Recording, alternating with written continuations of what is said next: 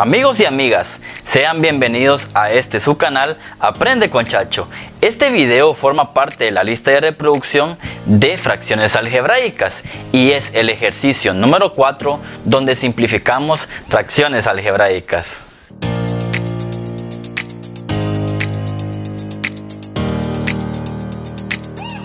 En esta sesión vamos a realizar la simplificación de la siguiente expresión algebraica.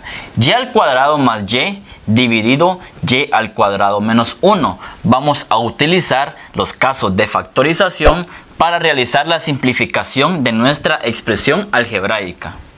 En la expresión del numerador se encuentra el caso de factorización por factor común. Tenemos a la expresión y al cuadrado más y. Nos damos cuenta que tenemos a y en la parte del primer término y al cuadrado y también se encuentra la variable y en el segundo término de nuestra expresión algebraica. Asimismo, en la parte del denominador tenemos a la variable y al cuadrado menos 1, la cual representa a una expresión para factorizar con la diferencia de cuadrados. Entonces comenzamos factorizando cada una de estas expresiones.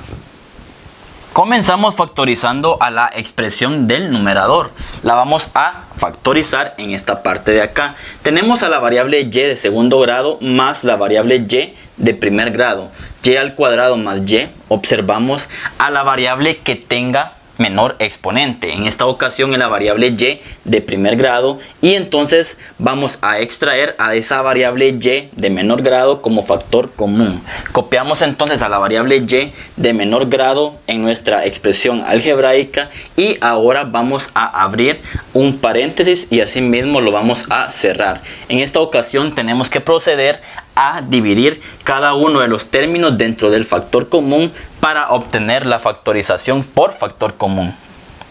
Utilizamos la siguiente propiedad de los exponentes. Si tenemos a la variable y elevado a un exponente m dividido la variable y a un exponente n, entonces esto lo resolvemos copiando a la base que es la variable y y restamos los exponentes m menos n. De esa forma utilizamos esta propiedad de los exponentes para nuestra expresión algebraica. y al cuadrado dividido y, recordemos que esta variable y es de primer grado, entonces únicamente vamos a copiar a una variable y en esta ocasión y exponente 2 menos exponente 1 es igual a un exponente 1. Lo dejamos indicado únicamente de esta manera copiamos al signo positivo y y dividido y, eso representa al número 1. Con ello llegamos a determinar a la factorización de nuestra expresión algebraica. Vamos a borrar a este número 1 para dejar indicada la factorización.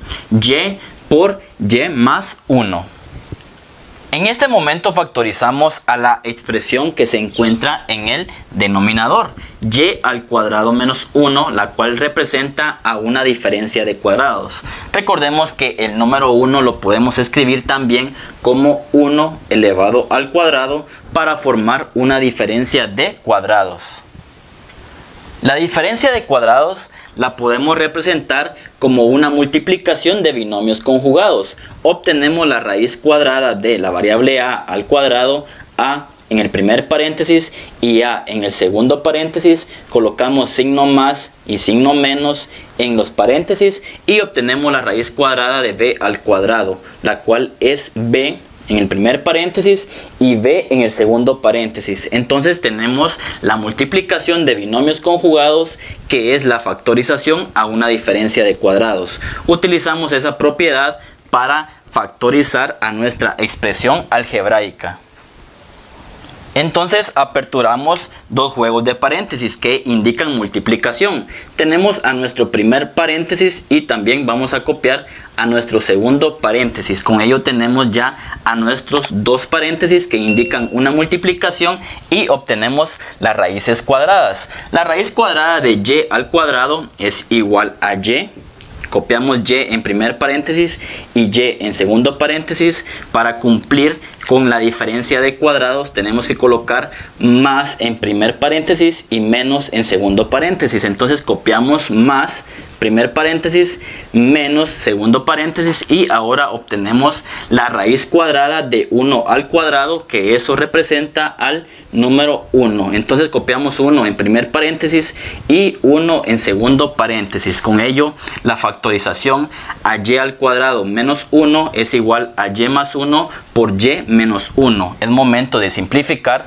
a nuestras expresiones en esta parte de acá entonces trasladamos a la factorización de la expresión del numerador y también a la factorización de la expresión del denominador a esta parte de acá. Copiamos a y por y más 1 en el numerador que es la factorización a y al cuadrado más y. Colocamos entonces en el numerador y por y más 1. También es momento de trasladar a la factorización de la expresión del denominador. y al cuadrado menos 1 se representa en factorización como y más 1 por y menos 1. Vamos a colocar a esos factores en el denominador. Tenemos entonces y más 1 por y menos 1. Ya trasladadas las factorizaciones a esta parte, es momento de simplificar.